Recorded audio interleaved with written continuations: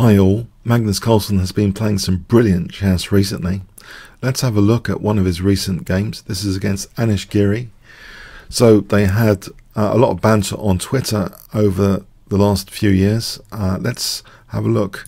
The uh, score of Anish Giri has been very good compared to other grandmasters. Very, very difficult to uh, for, for Magnus to beat uh, Anish Giri at the classical time control historically. Uh, so that's also interesting c4 for Magnus. So English opening, e5. We have knight c3, knight f6, knight f3, knight c6. So this is the English four knights opening because the four knights have come out and about. Okay, so g3, d5, c takes, knight takes, bishop g2, and bishop c5. This has become a trendy move recently. In the past, knight b6 was kind of the routine move. For example, white castles. This position, white plays for b4, which gives that bishop b2 potential, as well as b5. And here, this is thought to be about even. So this is an interesting uh, new kind of idea in this line. White castles, black castles, d3, h6. Another move here, seen quite a lot, is rook e8. For example, bishop d2, knight takes, bishop takes, knight d4, b4. This is thought to be about equal. So h6, knight takes, queen takes, a3, a5, bishop d2, queen e6. We have rook c1 hitting the bishop. Bishop is protected.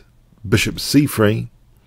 Now knight d4. So in fact, now after e3, all the knights have disappeared from the position, leaving just the bishops. That's quite an interesting scenario the knights are quite versatile. They can hit both colours of squares. The the bishops are more simple in nature. Uh, you know where you are more without the tricky knights. So, is there enough dynamic potential here for white to gain a significant advantage? Now, this next move, bishop d6, appears to be mainly designed against d4. You know, if d4 here, maybe e4 is possible. Uh, so it's interesting though that the central tension is kept with quite an aggressive looking move. Queen h5. We have now quite a bit of pressure on the black position. c6 is played, which blunts that uh, bishop, takes away the d5 square. But now a really interesting move indeed. The kind of iconic move of this game I wonder if you can guess what Magnus played if you haven't seen this game before. You might want to pause the video here. Okay. F4. This does weaken E3 and also you might think D3 is weak as well. Black took. There's some interesting alternatives to taking here. F6 I believe we can rule out. White can play F takes. Taking here and after these exchanges, there's rook c5, and this leads white to a big advantage. So that's too dangerous for black to entertain f6. e4, I believe we can also rule out. It's only got a little tactical trick. Uh, if d takes, that's a big advantage. If white does take here, then okay, fine. This position is, is fine for black. But the move which really might be quite serious uh, to consider is f5, which stops this f pawn, it does block in the c8 bishop. So this position, uh, maybe with queen f7, this should be about equal. However, in the game, it seems Anish was uh, interested in winning some material. Uh, he played e takes, and Magnus doesn't play e takes here. Plays rather with the uh, g pawn, which does have a big upside that the G file is opened up. If you use the G pawn, this is quite an aggressive G file. Uh, so very interesting position. G takes. Let's have a quick look at E takes. Check. And in fact, uh, here, okay, this is poison. Or is it? Yes, it is. But black doesn't have to play queen e3 check. Uh, so if black does something else, sorry, after e takes, instead of check, black does something else and should be okay here. There isn't too much uh, danger for black. Perhaps a move like f5 for queen f7 again might be plausible. So what happened in the game is really this quite exciting g file has been created, this road to the black king. But yes, e3 is hanging. That is taken. And here, uh, it's far too dangerous to take on d3. Rook d8 was played.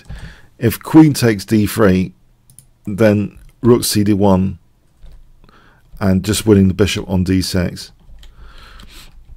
So here rook d8 was played, rook ce1, queen c5 challenging the queen. The queen's, uh, before we get into queen c5, if we just re-examine queen takes d3 here, then f5 is dangerous. For example, bishop f8, and here this is uh, absolutely winning. Yeah, this skewering the queen and the rook. So that that is far too dangerous. And here, if say queen c4, then actually that f pawn is becoming a very dangerous form pawn, and absolutely winning in these lines with especially with the g file. It's like, for example, here double check and mate. So it can be absolutely lethal this position. Uh, so yeah, black dare not take on d3. So queen c5 Magnus keeps the key, queens on with f5, and also, of course, this f6 is a continual idea. Bishop f8, black's on the defensive. Bishop e4 supports both d3 and f5. Rook d5, trying to offer the exchange sacrifice to try and defend. Magnus refuses with a beautiful looking move, rook f3. This means not only keeping a support of f5, but the rooks can potentially double with rook g1 rook fg3 later. Uh, the alternative, if white had taken the exchange, bishop takes d5, this position is actually white's only got a small edge. Although the exchange up, black's pretty solid here uh, with the extra pawn as well and the bishop pair. So uh, rook f3, avoiding winning that exchange that's offered, or rather taking the exchange that's offered b5, sometimes with the idea of b4. Black is kind of cramped as well in this position. That c8 bishop wants to do something. Rook g1. Now white here looks as though there's threats like queen takes h6, but with the queen eyeing g1 in alignment with g1, this is not really possible. Rook a7 was played.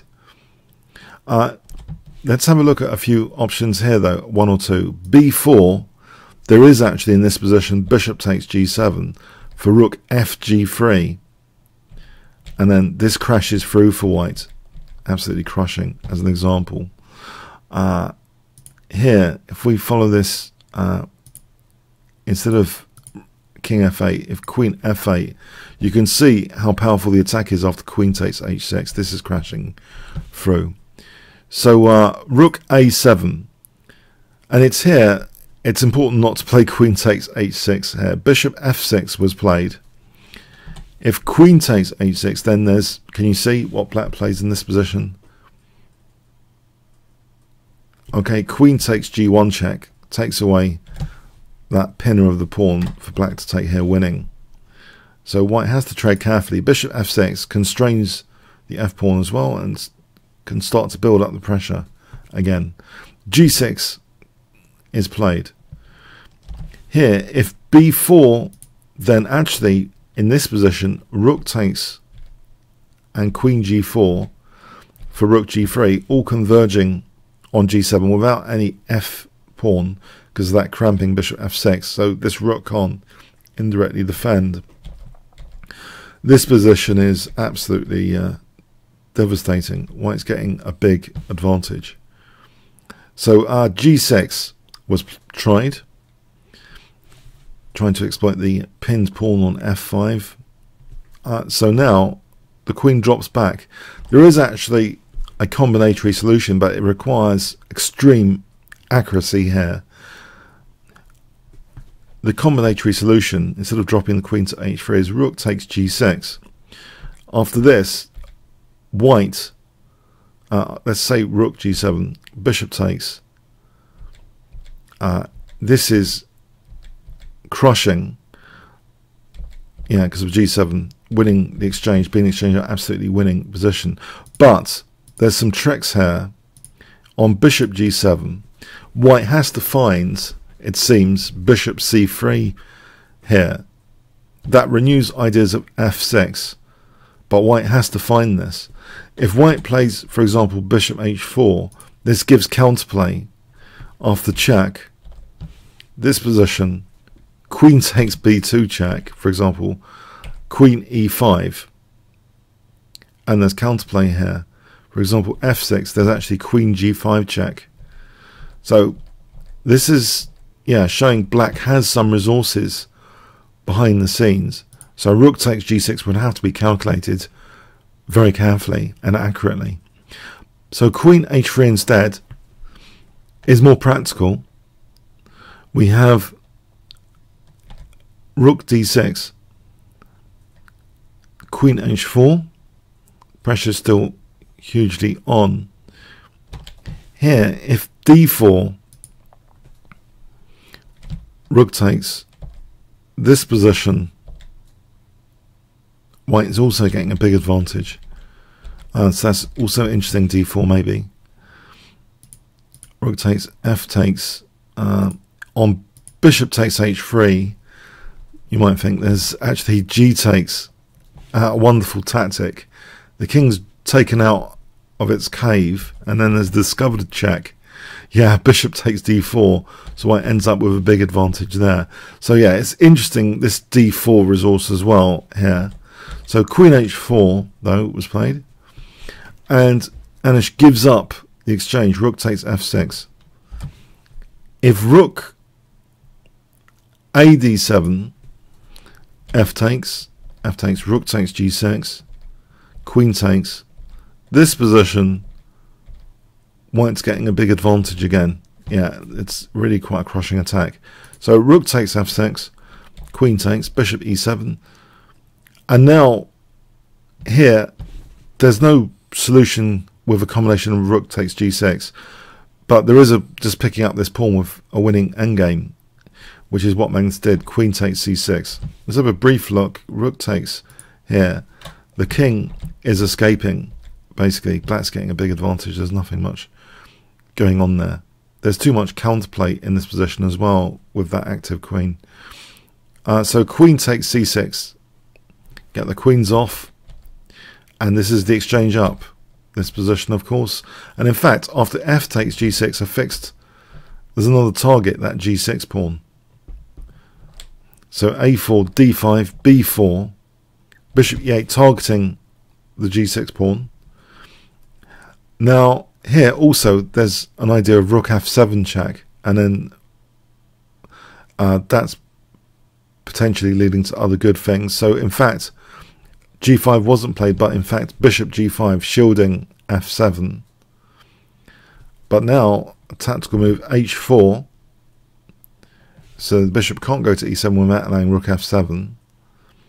And also it's shielding g6 at the moment. So Black grabs this pawn. Rook takes g6.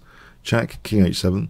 Rook c6. And there's not many places useful for that bishop here. The bishop goes to g4.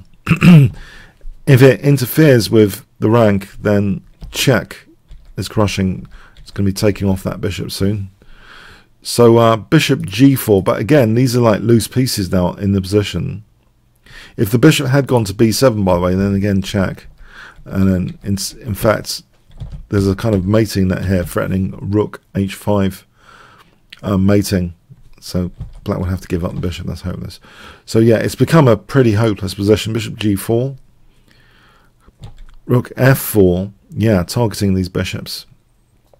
Rook g7 and the game ended. I believe Anish Giri lost on time but it is a, a lost position. An example continuation forcing things further off would be bishop g6 jack Rook takes, rook takes, king takes, rook takes g4.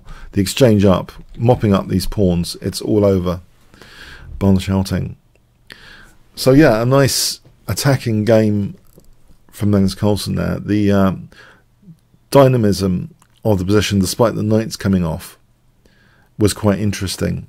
And I believe both players discussed that a little bit in the post mortem how maybe they weren't expecting it to be that exciting after the four knights of this variation all got swapped off, and yet white, with this kind of dynamic attacking gambit, uh, created huge pressure on the black position. I hope you enjoyed this game video. If you did, please click on the top left box, which should appear shortly to become a member at chessworld.net, play with the YouTubers. You can also test yourself on the variations covered in this game and other game videos from the improved menu, the puzzle books option, which has a link to the annotated game. Comments, questions, donations, see description. Like, share, subscribe with the notification bell. Really appreciate it. Thanks very much.